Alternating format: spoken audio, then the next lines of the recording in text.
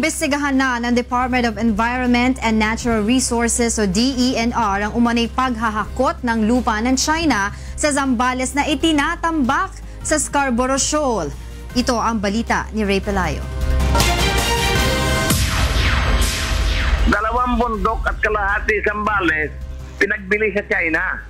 At sa lupang ito, dinala sa lapit na Escalboro, nakabuo sila ng 3,500 hectares doon sa tabi ng Escalboro.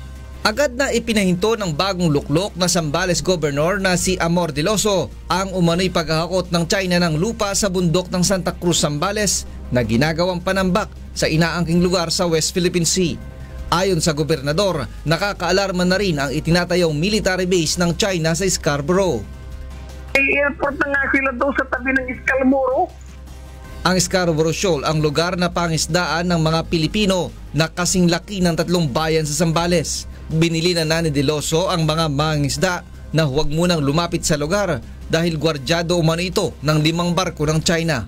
Ay naman kay DENR Secretary Gina Lopez, mananagot ang sinumang nagpahintulot dito. Whoever was remiss in, in, in, in another country taking our soil to use as their landfill, then uh, heads should roll.